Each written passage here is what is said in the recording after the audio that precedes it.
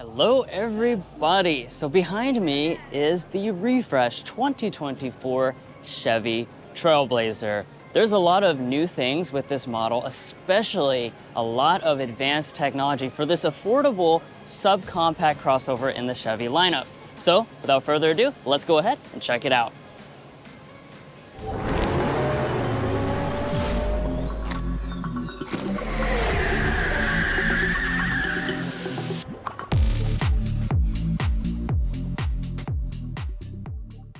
So of course, the first place we should take a look at is our exterior design. Now, when you first walk up to the 2024 Trailblazer, it won't be super obvious what's different, but Chevy has overall massaged the look of the front end of this model. Um, of course, what we're standing next to right now is the RS trim level. So this is gonna be the sporty version. It has the most aggressive design. So you'll notice you've got a large lower grille of course, you've got that gloss black finish here. You also have the gloss black finish that goes across the center bar, and then the signature bow tie is going to be blacked out as well. We have kind of a light blue paint, which I think looks really good with these black accents. And then down here at the bottom, you also notice we have a pretty aggressive looking lower fascia, and this is actually finished in a faux carbon fiber. Let Mason get up close to that. It's kind of a unique look on board. Now there are still gonna be a lot of different trim levels you can get this model in. Like I said, RS is the sporty one. Over here on this side is the active trim level. This is more of the off-road focused model. Um, I say off-road focused loosely. It's really just kind of a more off-road design, but you do have different tires. Um, and as you can see, the design here is gonna be just a little bit more different. Uh, it's gonna emphasize that ruggedness. Now back over here on the RS, I do wanna point out we have updated lighting. This is gonna be a full LED arrangement. So we've got the daytime running light up here at the top, and then our main headlight cluster is gonna be down here in the center section. But let's take a look next at the wheels because this is another area that Chevy has updated for 2024, particularly with this RS trim level. So You'll see these wheels look very large for a vehicle in this size category. That's because they are 19 inch alloy wheels. And I love this design. It has a very upscale look to it, a lot of contrast elements going on. And once again, that really pops with this blue paint. Speaking of pop with the blue paint, the RS trim level as well as the active trim level are available with contrast finish on the roof. So we've got the black finish on the mirrors and the roof, giving it that look. Over there, over my shoulder, is the active, and that has the opposite effect. That has the white roof on the, and the mirrors as well. So very unique design that you can really make your Trailblazer pop. Now looking at the overall side design, nothing is really going to be changing here. Um, if you know about the upcoming Chevy Trax, which we will be covering on our channel soon, by the way, the Trailblazer has a very distinct look from the Trax. This is a lot more boxy, really a more traditional looking SUV if that's what you prefer. Now, as far as the overall length, we don't expect that to change for the 2024 model, so about 173 inches in overall length. Now, as far as the rear design is concerned, what's going to be different for this Trailblazer model? Well, you're going to have a few little things, just kind of like the front. Chevy has refreshed the design to make it more modern, but they're not going to completely radicalize the entire design here. So we have our Chevy bow tie emblem right here in the middle. We're going to have slightly updated taillights. Uh, if it's like the previous Trailblazer model, uh, they should be LED or at least partially LED on active and RS trim levels. Uh, it does look like we have an incandescent uh, reverse light and maybe an incandescent uh, tail light. I'm not exactly sure on that. We'll have to test that out later in our full review, which will hopefully come to the channel soon. Um, but a lot of the bigger changes are going to be down here in the lower diffuser area. So we have a lot of matte black plastic here. Uh, we do have that signature carbon fiber trim for the diffuser like we saw on the front, which I think is really quite cool looking, especially for the sporty RS. And another big design change is that we have circle exhaust pipes. So that really just spices up the overall look of this Trailblazer. Um, it makes it look very sporty and aggressive. And over there on the active trim level, you'll see we have trapezoidal exhaust outlets with a slightly different rear diffuser design. Now, even though this is an affordable SUV, Chevy is throwing in three out of four safety systems as standard equipment. That does not appear to change for 2024, so the only optional system is adaptive cruise control. But guys, there is a really cool tech-filled cabin inside, and there's some big updates in there that I can't wait to show you. All right, let's go ahead and climb inside. Now, even though I really like the exterior updates, really the big news is certainly on the inside. Come on in, Mason. Get a good look at these screens. I'm going to talk about these in just a second, but I just want to go ahead and preview some big tech improvements versus uh, the 2023 model. Now, I want to start off by talking about the seats. So we'll take a look here at our RS seats. These are really nice looking seats for a affordable crossover model. We have a leatherette material. It's got a lot of perforation in here, feels pretty nice, also feels durable. And we've got this color contrast piping and stitching that runs all throughout. And honestly, they feel pretty comfortable as well. Plus, RS branding up there at the top. Now I'll go ahead and let Mason climb inside so he can get a good look at the overall cabin and we'll take a look at the details. Now, like always, we like to start off with overall cabin materials. So let's go to the door trim. We've got a padded plastic down here for the armrest. We have this leatherette material through here with the stitching detail. We've got um, some accenting up here, and it is going to be hard touch along the top. It is also going to be hard touch along the upper part of the dashboard. That's pretty much expected for a more affordable subcompact crossover. But we do have the leatherette through the center, which is quite nice, and more of that stitching detail. As far as the overall design, though, you will notice that you have a different aesthetic going on. They've changed the vents. These are a lot more premium looking now. And like I said, we added this kind of leatherette area, which looks quite nice.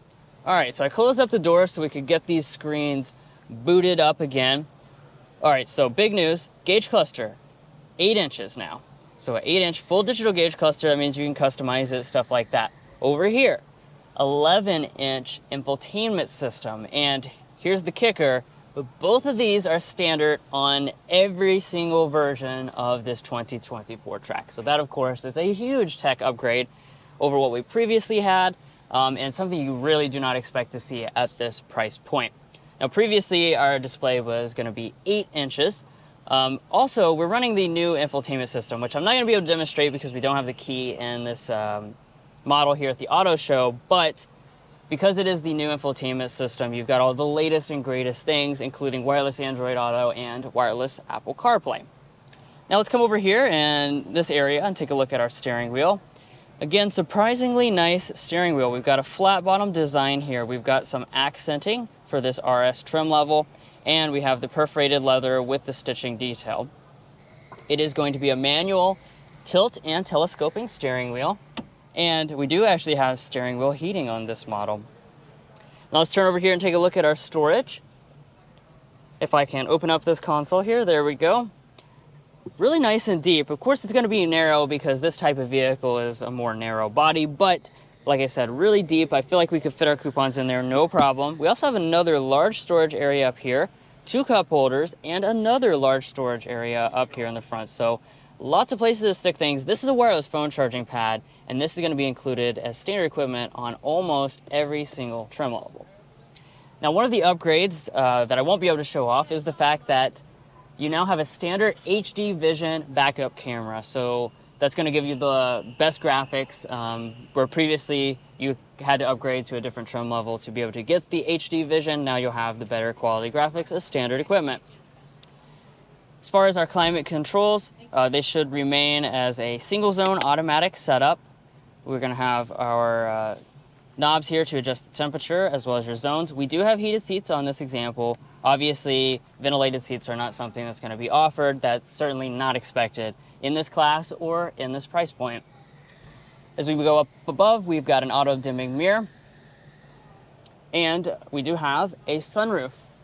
One of the things I'm noticing, even though the shade is not retracted all the way, this is a panoramic sunroof. Again, that's another one of those kind of unexpected features for this class. So it's really nice that Chevy's allowing you to get some of the more premium features from Equinox and Blazer here on the Trailblazer. Now, the Trailblazer has always had a very nice rear seat. That's going to continue for this refresh model. A little over 39 inches of legroom, 38 inches of headroom, which is very impressive figures for this segment of vehicle. Now, as far as some of the features here on this fully loaded one, we do not have vents, but if we drop below that, we have a household style outlet, definitely not expected for this segment. We also have two USB ports of Type A variety and Type C variety.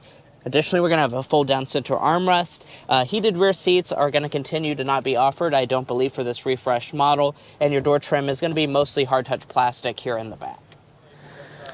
Now walking up to the tailgate, we do have a Power One. That's a pretty rare feature, honestly, for this segment. It's going to be on the fully loaded examples. And as far as the space is concerned back here, a good amount of space as well. 25 cubic feet behind the second row seats. If we reach up and fold these seats down, we're going to be looking at 54.4 cubic feet, which is also a good amount for the segment. We also do have a spare tire integrated up underneath of the cargo floor. So very impressive job from Chevy when it comes to the practicality for this Trailblazer model.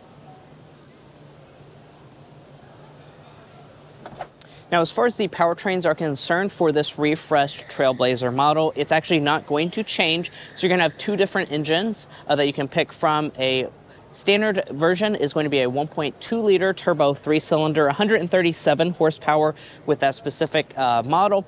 If you go for the higher end trim levels, you will get the higher output version. It's going to be a 1.3 liter turbo three cylinder, and that's going to be making 155 horsepower. But do keep in mind you do not have a high output engine or anything along those lines for this Trailblazer model. Now, power is going to be routed to the ground via a CVT or a nine speed automatic transmission, depending on if you choose front wheel drive or all wheel drive. All-wheel drive is optional on every single trim level. And as far as your fuel economy figures, if they stay the same as the 2023 model, which I assume they will, it will range anywhere from 28 combined to 30 miles a gallon combined, depending, depending on your trim level and engine configuration.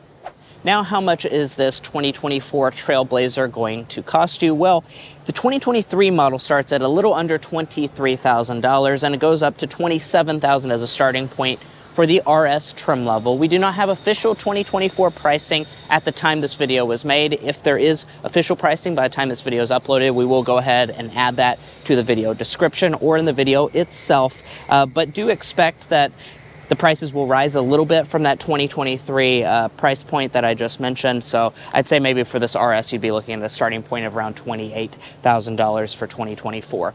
Now, if you're curious as to when this vehicle is going to hit dealer lots, it should be sometime later this year. Um, I wouldn't expect to wait too, too long. So maybe sometime this fall or summer for a 2024 Trailblazer. But guys, if you enjoyed watching this video or found it helpful in your purchasing decisions, we would really appreciate it if you hit the subscribe button down below. It really helps us out. It helps us go to auto shows like this where we can show you guys some of the latest cars on the market. If you're already a subscriber, thank you so much for your support, and we'll catch you next time as we sample more of the latest automotive delicacies.